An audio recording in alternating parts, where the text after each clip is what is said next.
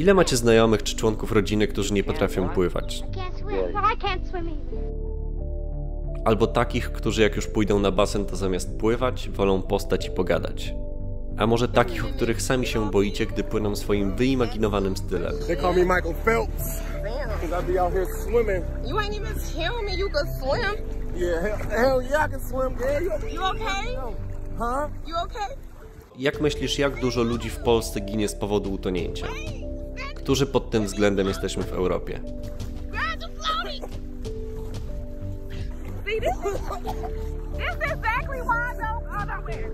Zawsze na jakimś bocznym torze ktoś pływa. Niemal zawsze ktoś pływa niepoprawnie. Ale pływa. Uściślijmy, że nie wymagam od ludzi, aby pływali pięknie, technicznie, niczym Torp czy Popow. Każdy pływa jak chce i ile chce. Nie mi wchodzić w klapki kogoś, kto uczęszcza na basen, bo się na nim prawdziwie relaksuje, czy fizjoterapeuta zlecił ćwiczenia na wzmacnianie, powiedzmy, pleców. Jednakże w większości przypadków to zwykła strata energii i domyślam się, że irytacja i znudzenie w powielaniu błędów w takiej samej nieulepszanej technice. Bo większość ludzi dobrze o tym wie, że pływa błędnie, ale nic z tym nie robi. Trwają w stagnacji. Skupmy się więc na chwilę na innych, pomijając mnie na pierwszym planie. Jak więc pływają ludzie na basenie? Uwaga, alert!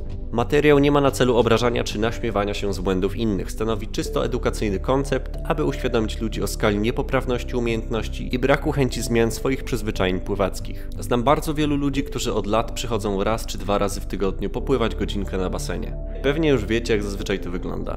Pływanie jednym stylem, najczęściej ulubionym, w jednym tempie, z jedną niezmienną techniką.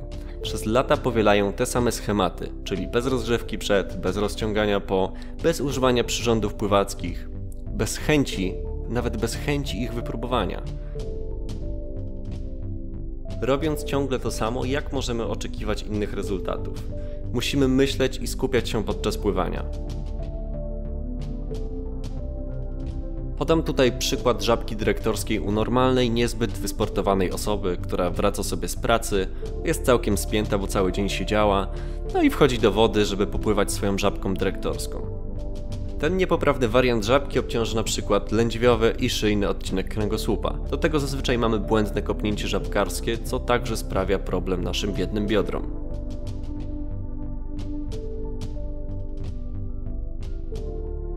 Wiecie dlaczego większość tych niepoprawnych odchyłów jest tak popularna? Bo jest wygodna i niewymagająca. Ludzie coraz mniej zwracają uwagę jak pływają.